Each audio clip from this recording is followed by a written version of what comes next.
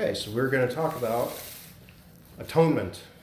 And the way we're going to talk about atonement is the way the preacher does it in Hebrews chapter 9, which he divides that chapter into two sections. He's, first, he's going to talk about the architecture of the tabernacle and later, of course, the temple, and then the architecture of heaven, and then uh, which that alludes to. And then we will talk about how the actions of the priest in that environment uh, actually go through the rituals which uh, impart forgiveness of sins to the people of Israel, and how, of course, then Jesus, as the atoning sacrifice and great high priest, is the final fulfillment and completeness of that atonement. And the way we're going to do that is we're going to jump back into Leviticus chapter 16 and read about the Day of Atonement. So that'll be Leviticus chapter 16, verse 8.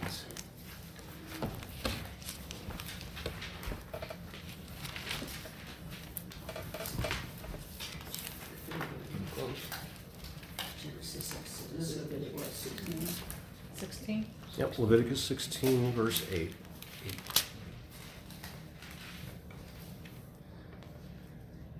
And actually, we'll back up to verse 5. Okay, so he shall take from the congregation of the people of Israel two male goats for a sin offering and one ram for a burnt offering. Aaron shall offer the bull as a sin offering for himself, and shall make atonement for himself and for his house. Then he shall take the two goats and set them before the Lord at the entrance of the tent of meeting. And Aaron shall cast lots over the two goats, one lot for the Lord and the other for Azazel. And Aaron shall present the goat on which the lot fell for the Lord and use it as a sin offering. But the goat on which the lot fell for Azazel shall be presented alive before the Lord to make atonement over it, that it may be sent away into the wilderness to Azazel. Aaron shall present the bull as a sin offering for himself, and shall make atonement for himself and for his house. He shall kill the bull as a sin offering for himself. And he shall take a censer full of coals of fire from the altar before the Lord, and two handfuls of sweet incense beaten small, and he shall bring it inside the veil and put the incense on the fire before the Lord, that the cloud of the incense may cover the mercy seat that is over the testimony, so that he does not die. And he shall take some of the blood of the bull and sprinkle it with his finger on the front of the mercy seat on the east side, and in front of the mercy seat he shall sprinkle some of the blood with his finger seven times. Then he shall kill the goat of the sin offering. And you can follow this on the picture on the front to see where you know where he's standing when this takes place. So of course the altar of burnt offering is out in front. You have to come into the holy place to get to the incense altar. Uh, and there should be a arrow pointing east. So east to the east is the entrance. Uh, you shall take some of the blood and vinegar, uh, bowl and sprinkle it with his finger on the front of the mercy seat on the east side, and in front of the mercy seat he shall sprinkle some of the blood with his finger seven times. Then you shall kill the goat of the sin offering that is for the people, and bring its blood inside the veil, and do with its blood as he did with the blood of the bull, sprinkling it over the mercy seat and in front of the mercy seat. Thus he shall make atonement for the holy place, because of the uncleannesses of the people of Israel, and because of their transgressions, all their sins. And so he shall do for the tent of meeting, which dwells with them in the midst of their uncleannesses. No one may be in the tent of meeting from the time he enters to make atonement in the holy place until he comes out and has made atonement for himself and for his house and for all the assembly of Israel. Then he shall go out to the altar that is before the Lord and make atonement for it. And he shall take some of the blood of the bull and some of the blood of the goat and put it on the horns of the altar all around. And he shall sprinkle some of the blood on it with his finger seven times and cleanse it and consecrate it from the uncleanness of the people of Israel. And when he has made an end of atonement for the holy place and the tent of meeting and the altar, he shall present the live goat thought it was supposed to go. Uh, 34, okay. Um, and Aaron shall lay both his hands on the head of the live goat and confess over it all the iniquities of the people of Israel. But that took a while. And all their transgressions, all their sins, and he shall put them on the head of the goat and send it away into the wilderness by the hand of a man who is in readiness. The goat shall bear all their iniquities on itself to a remote area, and he shall let the goat go free in the wilderness. Then Aaron shall come into the tent of meeting and shall take off the linen garments that he put on when he went into the holy place, and shall leave them there. And he shall bathe his body in water in a holy place, and put on his garments.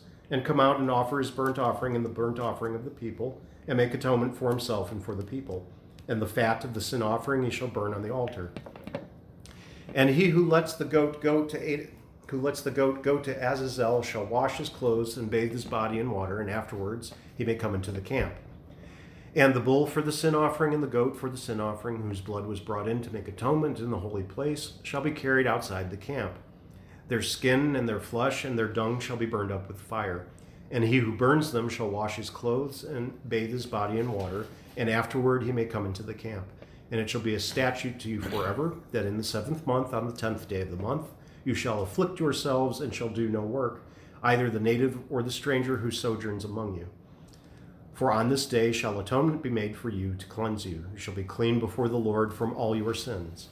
It is a Sabbath of solemn rest to you, and you shall afflict yourselves. It is a statute forever. And the priest who is anointed and consecrated as priest in his father's place shall make atonement, wearing the holy linen garments. He shall make atonement for the holy sanctuary, and he shall make atonement for the tent of meeting and for the altar. And he shall make atonement for the priests and for all the people of the assembly. And this shall be a statute forever for you, that atonement may be made for the people of Israel once in the year because of all their sins. And Moses did as the Lord commanded him. Okay, so that is the mechanics of what has to happen on the Day of Atonement. So now we will go into uh, Hebrews chapter 9, and we're going to split it up into a couple of parts. So we'll do Hebrews uh, 9, 1 to 10 first. Let's see how far we get.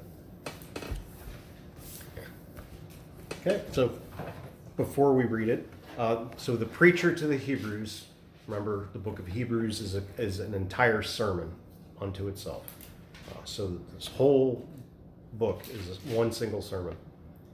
And he used chapters 7 and 8 to set up his analogy that he's going to make. And then the analogy he made was of the new covenant being the better covenant over the old covenant, some of which we just read about.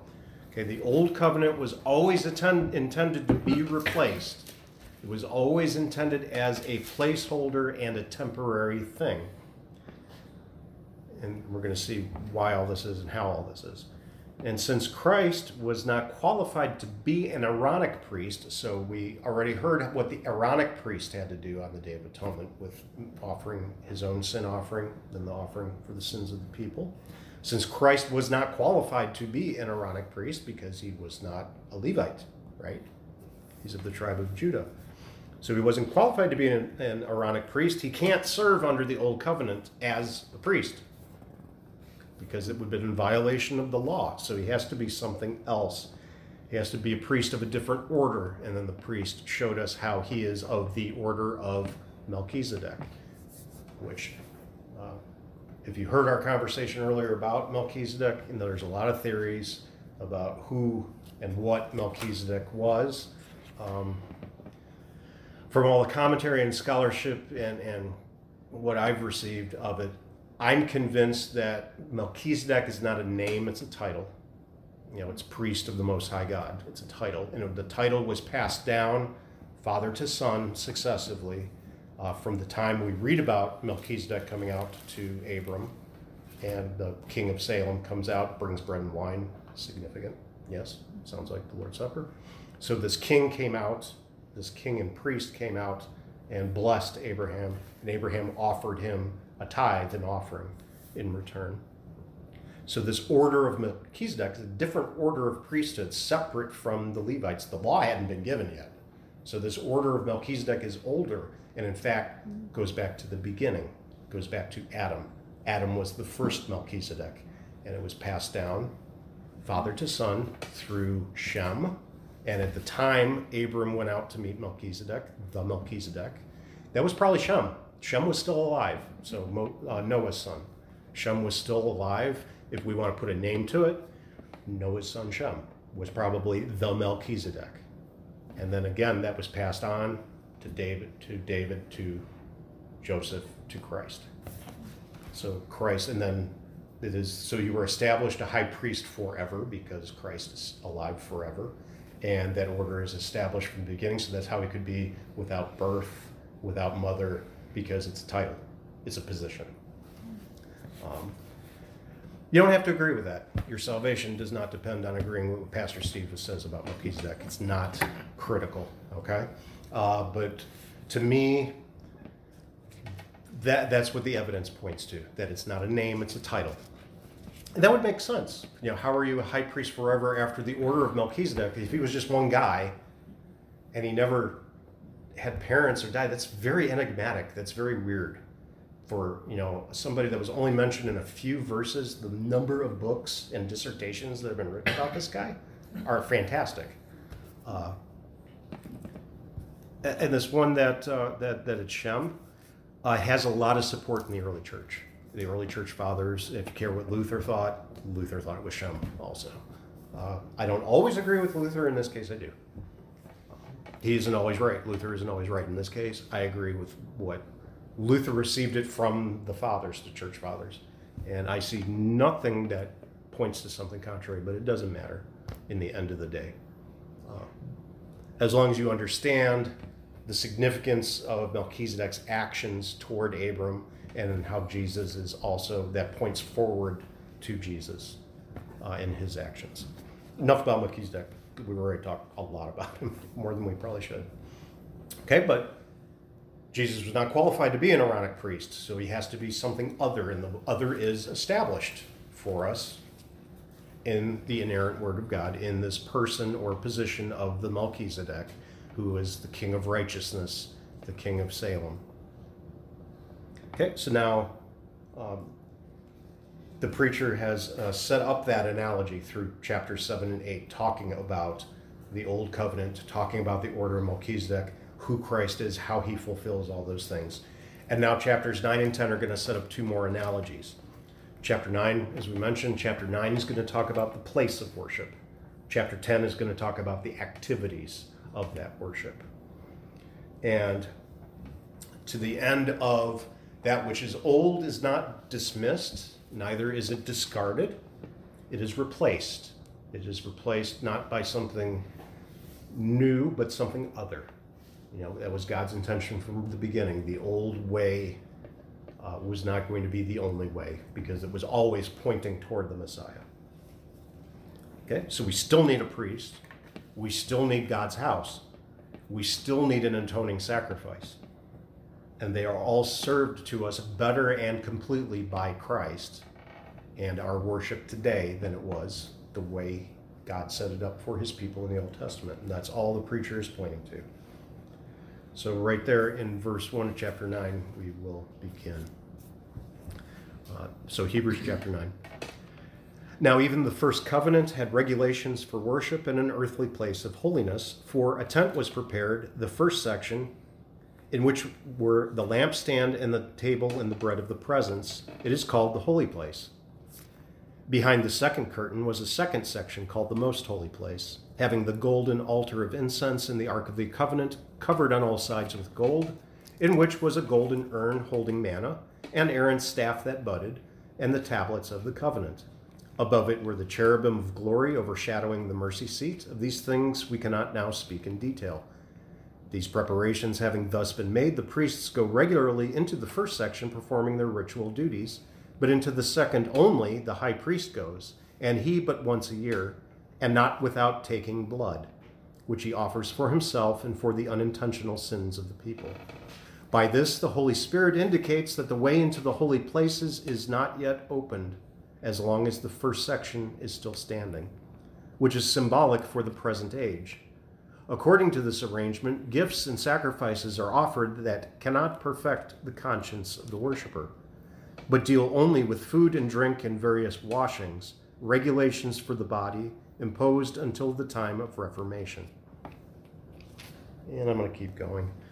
Uh, but when Christ appeared as a high priest of the good things that have come, then through the greater and more perfect tent, not made with hands, that is not of this creation, he entered once for all into the holy places, not by means of the blood of goats and calves, but by means of his own blood, thus securing an eternal redemption.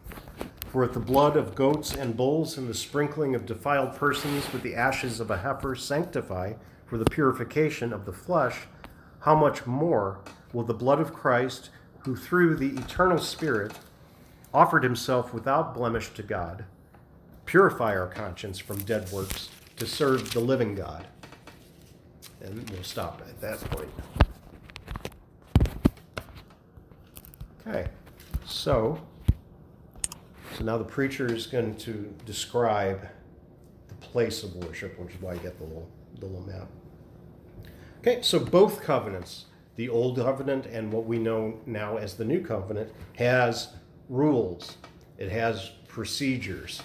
Uh, it has furnishings, and it has a place that we set apart to do it. Right? So we can look at some of the churches in, I'm on a Siberia kick, the Lutheran Church in Siberia uh, right now.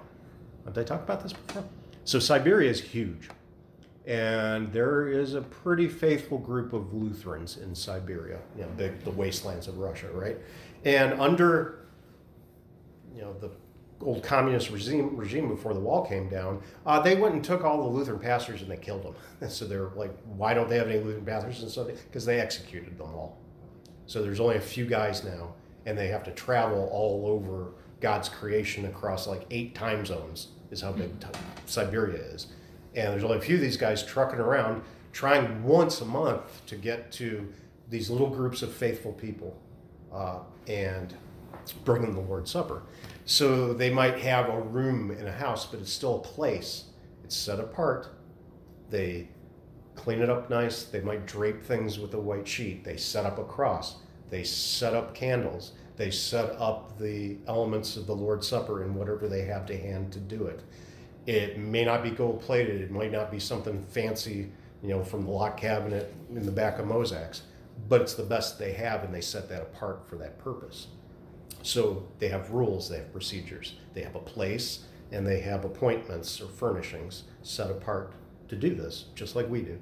Just like they did in the Old Testament. They had the tabernacle, God gave them the design, how to construct it, what to make it out of, how to make the fabrics, what materials the fabrics had to be made from, how many rings had to be on it, uh, he gave them the dimensions. He gave them uh, what layers to put first, how to put it up, how to tear it down, how to build the ark, how to make the ark exactly the way it was, and what to put in it, and then how to store it, how to put it in the most holy place, and then how to divide it with the curtain, and how only the high priest, only one day of the year, could enter. So you had rules, procedures, things you had to do. Okay, so the practices of that old covenant and its design basically gives you it's kind of like an onion right? It's got its layers with the ark in the it's not really in the center it's to one side but you think of an onion these layers and only certain people can move to this next layer till you get to the very center. Only the high priest only on the day of atonement the most holy place where the ark is because that is where the glory of god actually comes to earth and rests on the mercy seat. Okay but it was separated by that veil. No one could see it except the high priest, except that one day of the year. And notice he even had to go in with incense smoke to make it foggy so it wasn't clear because he still couldn't behold that. No one can look on the glory of God in this world and live. Okay? So then the next chamber out, only the Levitical priests could enter where they offered sacrifices for their own sins and for the sins of the people, which they did daily. Uh, some people will argue that those daily sin those daily sin offerings didn't exist. If you go searching on the internet and searching uh, for more information than you ever want to know about this stuff, uh, you'll see people arguing about this. Uh, the writer, uh, Dr. Geishen, who wrote the Concordia commentary on Hebrews, uh, goes into exacting detail and points you to resources to show, yeah, they really did offer these sacrifices. Uh, there's a lot of nonsense out there. Just so if anybody ever tells you no, they never offered these daily sin offerings, yes, they did. And there's tons of evidence for it. Uh, and I leave that to people that can actually, are actual Hebrew scholars that can read this stuff in the original, which is not me. I'm not an old, unfortunately, not an Old Testament scholar. Okay, in this way, the people of the Old Covenant, the people of Israel, could remain in the covenant of the law despite their inability to keep the law, right? Because as soon as you break the law, you've broken the covenant, right? I mean, if you make rules in a contract and you don't follow one of those rules, you you're in breach of contract, right? Same thing with God's law. As soon as we sin, we've broken the contract we have with God, which is this is what I expect you to do, and if you don't, you will die. And He instituted, He gave the law, and He gave this um, way of achieving atonement for sins, so that these people could remain in the covenant even though they cannot keep the law. We don't think about it that way because we're in the new covenant and we think about it a different way, which the writer to the Hebrews, again, preaching to Jewish converts, early Jewish converts to Christianity, he's explaining to them, okay, this is how you were raised, this is how it is now. It's the same, but it's different, and here's how, which is really what he's doing. Everybody follows that, right? Okay. So in this case, it's actually easy for us to understand because we're looking backwards, going, yeah, that was just weird, and we have Jesus. it's much simpler because it is. It's much, much simpler. All right, so you had to have these daily sin offerings because that's how the people remained in the covenant with God, even though they are sinners. So this took place every day? Every day. Not the Day of Atonement was once a year but every day sin offerings for the priests and for the people were offered. And that's when people will say, no, no, that only happens on the Day of Atonement. No, that happened every day, but the Day of Atonement was a big statute that God said, you will have this forever. Uh, but yeah, and, and, and that's what scholars argue about. Well, they didn't do it every day. Uh, it, there's tons of evidence that say yes, they did these sin offerings every day. Okay, so these two chambers that we see are furnished, as we said, with unique, specialized furniture, and that's what we call stuff in the church. Like what do you call the lectern and the altar and, and the pulpit? It's furniture. We actually it's called furniture. So this we have this unique furniture, specialized furniture like the, the oil lamp, like the table of the showbread, the bread of the presence, uh, the incense altar, the Ark of the Covenant being the most special, uh, the most holy thing that they have. And again, only the priest saw some of this, and only one priest saw all of it. And even then, he had to look at it as through a fog. Kind of makes you wonder how they moved it. yeah, it kind of does. I think it had a lot to do with the fact when the when the when the camp stopped. Because if you read the way it was happening in Exodus, whenever the camp stopped and they erected the tabernacle and the cloud of the presence came down, that's when you couldn't go in there. So when they're moving around, then it's a piece of furniture. Then it's unoccupied. Yeah, then it's unoccupied. Then he's not on the mercy seat. If he's on the mercy seat, you're going to die. so don't look at it. So it wasn't actually the ark people couldn't look at, it was the presence of God that they. I would say, yeah, it was the actual, it would be the, the glory cloud, which when you're following it in the wilderness, that's different. But once it came comes down, then that's no. so, yeah, so it's one of those things that's a little bit uh, paradoxical, but I don't think we need to get too hung up on it. It's like when it's in motion, it's okay. Once it stops, then that's okay. Now God is present. You don't go in there. Kind of makes sense. But yeah, good question. It's that is something that's confusing people, and it's one of the things people want to point to, saying, "See, the Bible is not internally consistent." Like, no, no. If you interpret it correctly, it's perfectly internally consistent. Just remember, it's God's reasoning, not ours. And we try to anthropomorphize God because that's what we do. We anthropomorphize our pets. You know, we attribute human emotions to our pets because that's how we we engage the world. So we talk to our pets like they're people. Sometimes they understand us. Sometimes they have no clue, and all they hear is beep beep beep beep beep. And we interpret what they say to us like we know what they're saying, and we don't. Sometimes we do. Sometimes we don't. Especially cats, because cats are weird.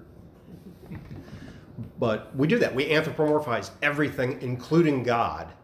And can't do that because God is God. He's outside time and space. He is He created us. So he can do whatever he wants. He's like, oh, how could God do that? Because he's God. Because he's God, and we can't comprehend that. That's why. But that's a tangent. Sorry. All right. So specialized things, specialized actions, and now the preacher begins explaining. Okay, so like in about verse eight, the Holy Spirit spoke through Moses, giving all of these things for their divinely intended purpose. Although they're not all fully revealed. Not yet. We don't get that until Christ. Okay, like again, only not everybody could behold these things, right? Not every not every Jew in the wilderness could march up and go check. I'm going to check out the ark behind the curtain. You know, you're going to die. I mean, that's why the the high priest tied a rope around his waist in case he screwed up, because the next guy can't go in and get his body out. They have to pull him out by the rope. Oh. That's what it was for, in case he screwed up. All right. You know, we saw that. I forgot who their names are. They offered improper fire. They decided, I'm going to offer incense, an incense offering. God didn't want that, so he killed them. Seems harsh, but that was the way God interacted in the Old Covenant. It was very strict. All right. So the Holy Spirit gives these furniture and fixtures through Moses to the people. And this is one of our evidences that all scripture is one, inspired by God, and two, good for instruction. It teaches us something even today. Okay, so all of this stuff, as the kids will say in confirmation, especially, all that stuff in Leviticus that doesn't make any sense. Because if you just read it all, you're just going to go, uh, why do I have to read this? Because you have the Christian freedom to not have to do any of that stuff but it teaches us things. And you know it teaches us what's clean and unclean. It teaches us the things that god gave to people to protect them. Like why aren't you supposed to eat oysters and shrimp? What was the big deal? Because those things suck up heavy metals and they'll kill you even back then. So not eating that kept people healthy.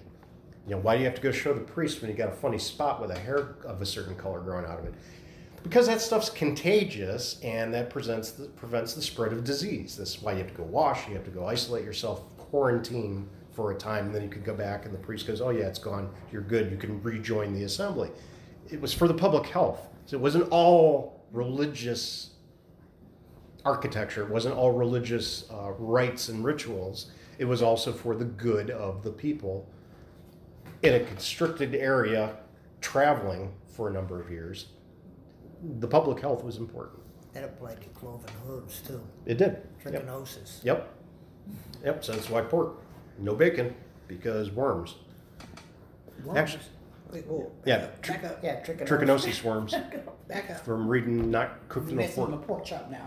Now, uh, Oh no, now, now I think we- I believe they've pretty much eradicated that, if I'm not wrong. Yeah, So you even if you still- even if your pork's a little pink, it's still good. You're not gonna get worms. But I actually know somebody who says he knows somebody who's got that, and you never get rid of it. So you can actually see little things moving, and it's hell disgusting. Like ew. They just know how to cook pork. I guess. You got it. It was very painful. I've had a lot of different foods living in the South, and pig's feet is not one I acquired a taste for. Me neither, too. That's that's, that's right up there with pickled herring being another one of those Nordic delicacies. Yeah. My mom could eat jars of that stuff. It's like that's disgusting. Ugh, it's right up there with lutefisk. lutefisk. But you can do grits, right? Hmm? You can do grits. I could eat grits are grits. Yeah, Yeah, they clean your teeth. Yeah.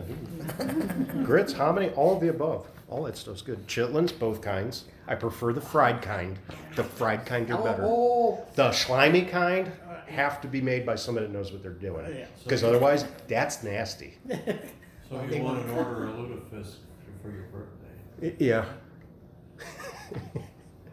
That's right, or, or like that, that fermented shark that they eat in Iceland, which I swear they only make it for tourists, because they, they it's rotten shark, and they hang it up, and they're they have ordinances. You can't make this stuff within so many miles of the city center. So what does that tell you how bad this stuff smells? Must be like kimchi.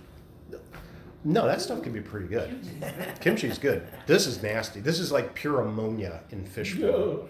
Literally. And so, I, okay, so sidetrack, but I was watching Andrew Zimmern, the weird foods guy. So he goes to Iceland and he's like catching puffins and all this stuff. He's like, okay, I gotta go out of town to try this fermented shark. And this guy like carves off a piece for him and hands him this little square. And he's already, his eyes are watering, just standing there. And you know, he'll try anything. He'll eat anything. And he puts it in his mouth and he's crying as he's chewing. He goes, This is the most disgusting thing I've ever put in my mouth. I, and, and he goes, I love it because he tried it. And it's like, oh, actually, I'm, I'm feeling sick for him watching his face. So, no, there's things you should not eat. And I don't know why those people, I guess they're really frugal. Anyhow, Make money off tourists, that's why. it's got to be for tourists. I, I, I thought that the other kind of chitlins was the slimy kind was for tourists. It's like, oh yeah, you can we'll get them to eat this stuff. Those weren't clean, right. Yeah, well, the the fella I knew, his wife of course would not let them be cooked in the house. He had a trailer out back that was only for making chitlins from beginning to end. And you know, there's many boilings that have to take place before you eat these things. And you didn't go in that trailer because it was abominable, but they were good. They were good. They they did not cook one single thing that was not delicious. So Can't be any worse than the Ramps.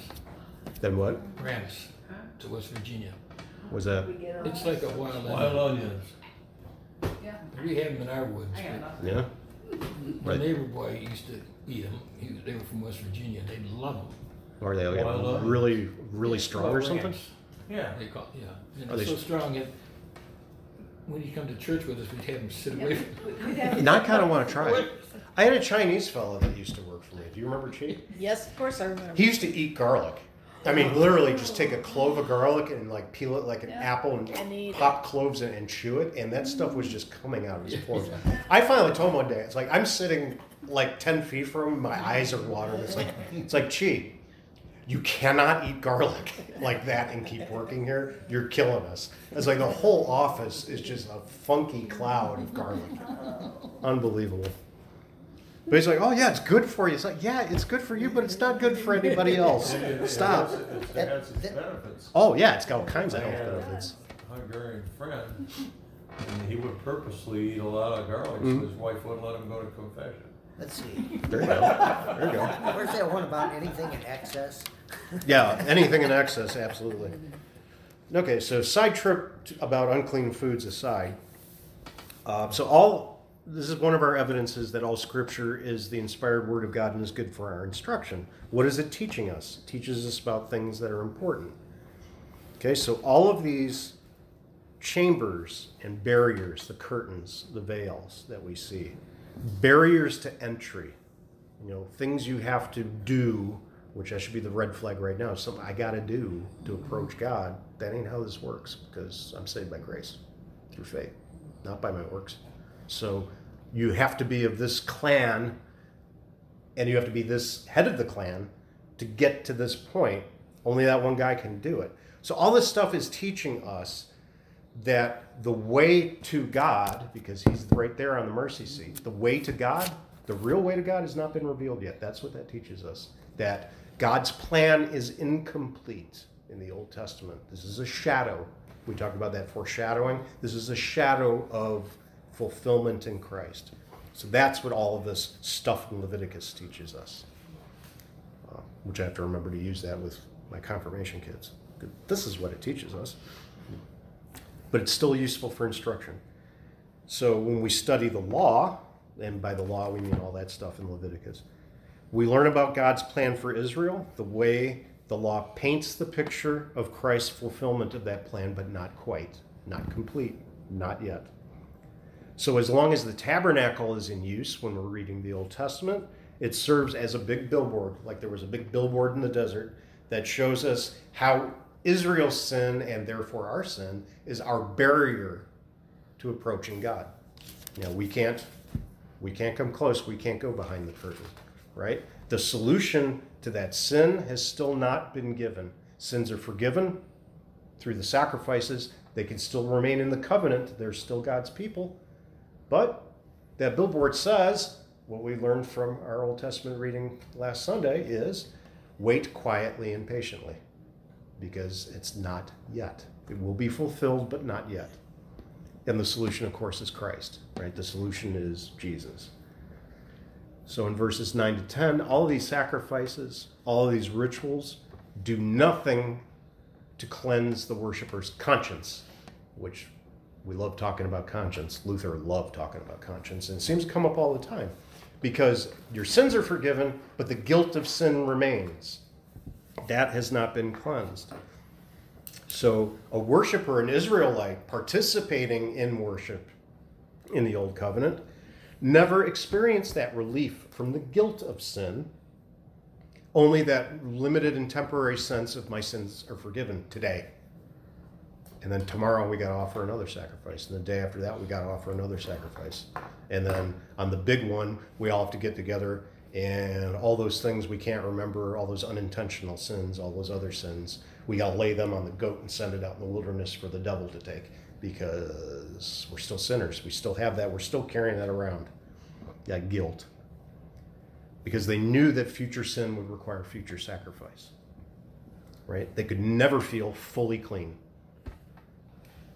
You know, it's kind of like it is and not really because Luther didn't understand the gospel yet. It's kind of like when he's going to confession and he had to remember every stupid little thing he did. How much sinning do you think these guys did in a monastery? no, I mean they're guys. I bet they figured stuff out and they did brew beer. So, hmm. but you know, how much sinning are these guys got? Where they're waking up seven times a night to go pray, right?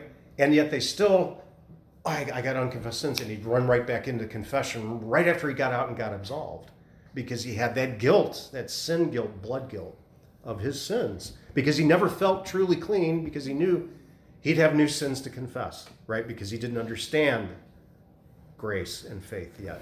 You know, great the forgiveness of sins and receiving it by grace. So that's the same problem the Old Testament people had. They never felt truly cleansed. None of those sacrifices solved the problem of sin. They washed the sin away, but they didn't solve the problem. They were a treatment, but they weren't a cure. So they were band. It was a band aid. It was a band aid. You take off the band aid and that carry away the dirt of that sin, and you got to slap another band aid on right away because you sinned again. Okay.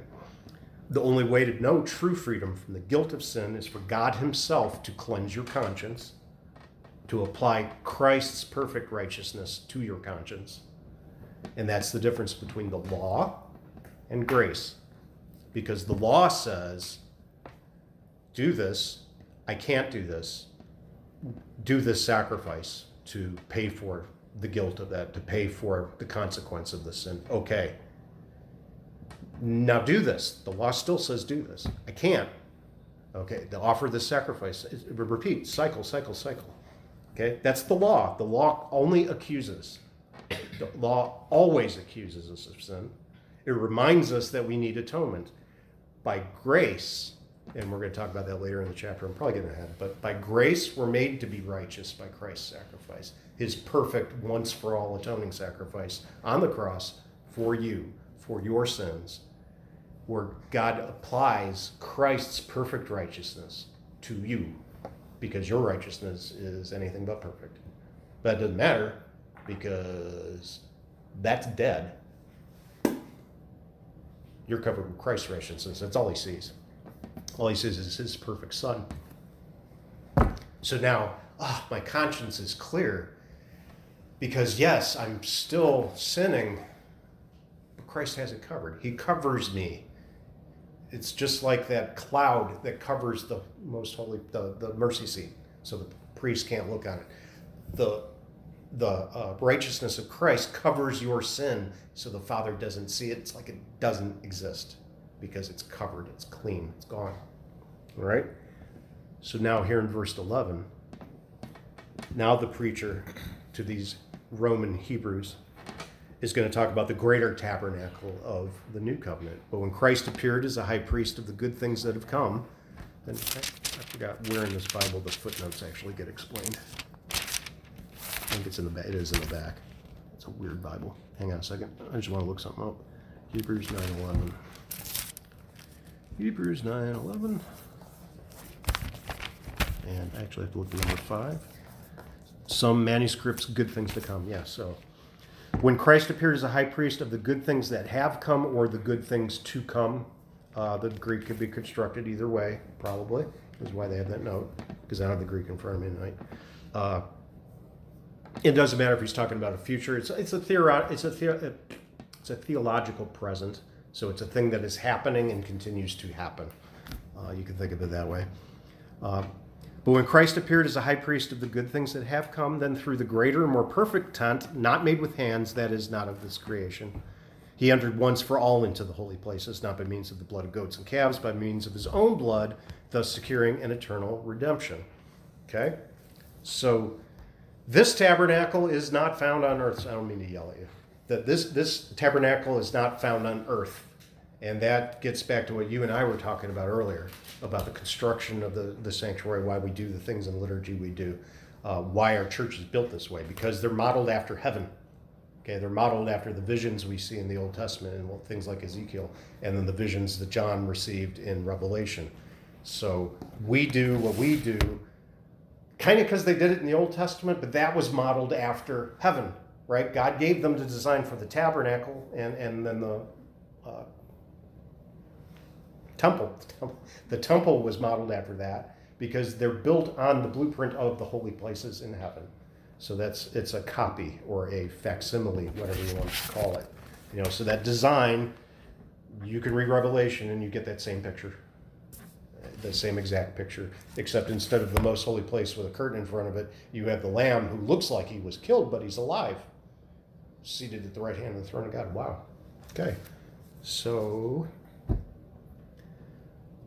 I lost my place. What was I talking about? Oh, so that tabernacle is not found on earth. That tabernacle is only found in heaven. It's not built with human hands. God gave the design, but men built it out of earthly things. Okay? This one is instead built by God. Okay? It's the master. The earthly one is patterned after it, whether it's our sanctuary, whether it's the tabernacle, the first temple, the second temple, whatever. And even to a lesser degree, uh, oh, synagogues are modeled after it still. Um, even mosques they have a design similar to it. Of course, they use, the Old Testament is their Bible also, along with the Quran.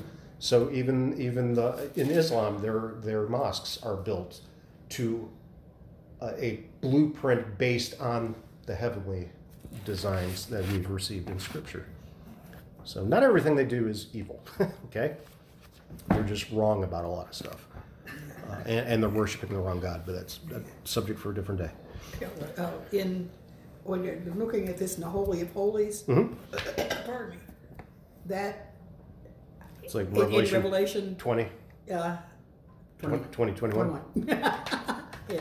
That is the new heaven, and the, uh, New Jerusalem is square. Mhm. It's in a square, and the holies of holies uh, Yeah, is- at is a square. It is a square. Yeah, because if you look at it, it's two squares side by side. So. And then the, there's prepared, and then the, yeah, and then the Holy of Holies is a square inside of that. It's That's all- what I meant. The yeah. holy, all of this would not be necessary. Yeah, you know. yeah, just the inner court is a Yeah. square. I mean, Right, it's, But we don't even need that, you know, dude, dude, Mhm. oh, this is gone, you know, all we need is this little, the holies of holies. Yep. That is the, it's a square, yeah. yeah, so the New Jerusalem itself, the city, is a Right, square. Is the holy of holies. Right, and there is no temple because you don't need it anymore. right. Why? Because of Jesus. exactly. Right, exactly. So yeah, that's beautiful. We, we tend to only read that in at funerals for some reason, at least in, in the Lutheran tradition. Uh, I wish we read that more in the lectionary at certain times. Uh, it's just good to hear that because we forget about the new earth. We all think we die, we go to heaven, and that's our existence. We're going to be sitting in the heavenly court singing for the rest of our lives. And that's, no, there's a new earth where we're going to be people like he created us to be in the first mm-hmm. place. Like adam and eve were when we were, they were perfect before they fell into sin. We're going to have jobs to do. We're going to have vocations. Don't know what they're going to look like. Mm-hmm. Don't know what they're going to be but it's going to be interesting. Mm-hmm. But you're, you're not going to be a, a angel singing How do you forever. know we're gonna have jobs? Where do you get that from? just because i see that's what his design was before the fall. You know adam and eve had jobs. They had vocations. They had things to look after. They were stewards of the earth there's going to be a new earth and he's going to intend us to be stewards of that. A new creation new universe which we'll actually get to maybe see more of it instead of one planet. I don't know. It's fun to think about that stuff. I know it doesn't matter like we're going to live forever so the whole time it takes to travel places isn't going to matter. It, maybe somebody should do like a christian science fiction novel about what it's like after. I don't know. I don't think any of us would, um, minds that we have can even envision. Yeah, no. Yeah, it's It's impossible just because we have no frame of reference. You know, speaking of We compare everything with our, with what we have here. Exactly. We have no frame of reference because we're sinners. We only know what a broken world is. And it's probably why a story about what life would be like in the new earth would be boring because there's no sin, there's no conflict, and that's how all our entertainment is based. You can't have a story without conflict, right? You can't have no plot. It, we don't understand. How would that be entertaining? Everything's perfect. Sounds dreadful for, for a plot device. I don't know. Again, that's a whole. I should probably like email that to some of the talking heads that do these Lutheran podcasts. Like, talk about this. See where you guys go with it. It'd be interesting. Yeah, Um, so, again, the master's in heaven. The copy is here on earth. So the earthly model is a teaching model, as we said. All of this scripture was written for our learning. So there's something we can learn from these blueprints we're given to give us an idea of a foreshadowing of what the heavenly uh, Jerusalem will be like, and then eventually the new Jerusalem. So it's a teaching model also. And the way I think of it is maybe it's a bad example, but at the seminary, we have what's called the teaching chapel. And it's a sanctuary, just like ours. You know, it's got the chancel, lectern, pulpit, and then more cameras than you can believe, and big screens and video editing stuff, so that every move you make is from every angle. And then they can frame by frame show you everything you did wrong. because you are supposed to turn in one direction and don't about, if you've been in the military, they do an about face when they turn around and they try to yell that out of you. So all the guys that were military were doing like the heel to toe about face, like stop doing that. No, no. So you have this teaching chapel. Why? It's set up like a real, uh, a real uh, sanctuary, so that you can learn how to do the things that you're supposed to do in worship. Because why? Because you have to be taught them because they matter. If it didn't matter, they wouldn't teach them to you. So it wouldn't matter which way you turn. And does it matter which way you turn? Are you guys going to notice if I turn in the wrong direction? I notice when I do it because I'm thinking about it. I always turn to the left and turn back this way. So if I turn, I turn to my left to you, I turn to my right to face the altar because that's the way I was taught. Does that actually signify anything? It makes it look ordered. So if anybody goes, oh yeah, he always turns this way, he always turns that. Nobody does that. Okay, nobody does that. But somebody who likes that kind of stuff will go, yeah, well, that's good. I notice you always turn the same way uh, because somebody has ADHD and notices that stuff. So that's extreme. But they teach you how to read, how to hold your hands. Now, does that mean you're going to hold your hands millimeter precise? like the Roman Catholic Church does, where the priests have to put their fingers together once they have consecrated the elements, and these three fingers never come apart till the end of the service of the sacrament. Why? Because if you take them apart, people's sins aren't forgiven. I don't know. They, because they have to do it that way. Because it's a it's because it's a rule, and because they're legalists, and everything's rules. Everything's rules, and you have to follow the rules. Uh, and it's beautiful if you can do that without dropping stuff okay? And there are lutheran traditions and rules for the lord's supper that people would see and go wow that's really roman catholic. Why is he doing that? Or oh that's really really nice because you can do the whole ornate ceremony with the genuflecting at the words of consecration uh, where you actually lower yourself at the altar. The elevation of the elements which i do some people don't uh, where you actually you know you know, on the night in which he was betrayed, our Lord took bread and you hold up the bread to go, this bread. Okay? It's all order because they're to focus your eyes on the bread, to focus your eyes on the chalice, on the blood. So everything teaches, everything does something. There's a reason for it. That's why they teach it for good order. And again, we're Lutheran, and that's one of the words in our confession that is, our confession comes up at time and time done in good order, to be done with good order for all things in good order. I mean, that phrase comes up over and over and over again. So if you ever want to say, because we're Lutheran and that's what we do, because w- they even have a neat Latin phrase for it. And it translates as, as you pray, so you believe, which sounds weird, but sounds cooler in Latin. Uh, and what that means is, as you worship, the way you worship tells people what you believe. So if you just let any old thing happen up there, that means this, this is not that important, is the way we look at it. So that's why liturgical. That's why we've been doing it that way for 2,000 years for a reason, because it's modeled after the way the priests handled things in the tabernacle and the temple, because it's modeled after the way worship takes place in heaven. That's why. In the early part of the Old Testament, all the rules, what is it, Leviticus, where all the Mhm. rules are, uh, God is very precise about everything. Yeah. Perfection, perfection. You know, to the what threads can your clothes be made of? And can you have a synthetic blend, right? You're not going to have any of this acrylic cotton abomination in the Old Testament. You, first off, they didn't have acrylic, but you, you couldn't have two different kinds of fabric in certain garments. Uh, the, you had to have a certain number of tassels. And then the, you get into the Midrash and the Jewish oral tradition it has even more rules about how many threads are in those tassels. How many, you know, how many how many threads are there supposed to be? There's a symbolic number and there's a reason for it, and they wrote that stuff down. That's why, because it teaches something. We may not think it's important, but the stuff God taught us is important because it shows us something and points us towards something better that exists in heaven. That is the not yet. Of course, Christ had something to say about that. And Christ did have something to say about that. and, and he had something to say about all the rules they made up. Like, as if the rules God gave you were that easy to keep. You made up a whole bunch of new ones. Isn't that dumb? Yeah, got it. Jesus had a few things to say about that.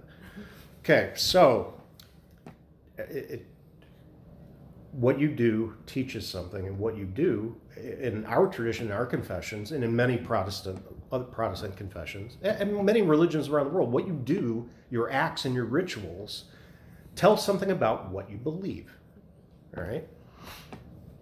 I mean, if everybody is real, real careful with the elements from the Lord's Suppers, even when communion's over and the service is done, and everybody's handling it very carefully and very respectfully, they must believe that is something still like it's actually the, still the body and blood of Christ, and maybe we should treat it like such instead of oh yeah, just throw that out, which gives people apoplexy when they see someone that's like new to the altar. They'll just like dump it, and, like just, meh. Just like you pour out a leftover, and they go, "Don't do that." Like why? Well, this is why. That's why. So yeah, you, get, you even get excited about it. All right, so all of that. So in accordance with the law, the Aaronic, Aaronic, not ironic, Aaronic high priest entered the most holy place with his basin of sacrificial bull's blood. He sprinkled it on the mercy seat upon the ark to atone for the sins of Israel. So, of course, that is patterned after something that hasn't happened yet. I love this language. So, this is this action by the high priest on the mercy seat is patterned after Jesus' sacrifice and spilling of blood for us on the cross, which hasn't happened yet for them. But, you know, it's God, so it's outside of time. So, because in heaven it's already happened. So, his action there is patterned upon Christ's sacrifice, which will happen when the Messiah comes.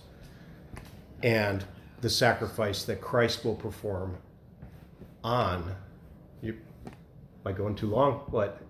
It's okay. Pardon me? I, am I boring anybody yet, or am I rattling on too long? Well, I get lost once in a while, yeah. Okay. Say something when I do that. Don't be afraid. Okay, so this this application of blood to the mercy seat is patterned upon Christ's sacrifice that he will perform in the heavenly tabernacle, which is not of this world. Okay? What sacrifice did he perform? I thought it was on the cross. Well, when it's completely finished, when Jesus says it is finished, and he gave up his returned his spirit to God that was placed on him in his baptism, and when he died, the when the God man Jesus Christ died, at that instant he is enthroned at the right hand of the Father in heaven because that's heaven. We can't think about it like people. You know, it's like, well, yeah, he was in the grave for three days. He was also at the right hand of God. Don't one of those things. Don't try to comprehend it because we can't because he's God. So at that instant, he sat down at the right hand of the Father, and the plan is complete at that moment. So at that moment, the vision we see in Revelation of the lamb that looks like it's dead, it's been slaughtered, but it's alive. That is the moment, boom, where the Son is enthroned at the right hand of God.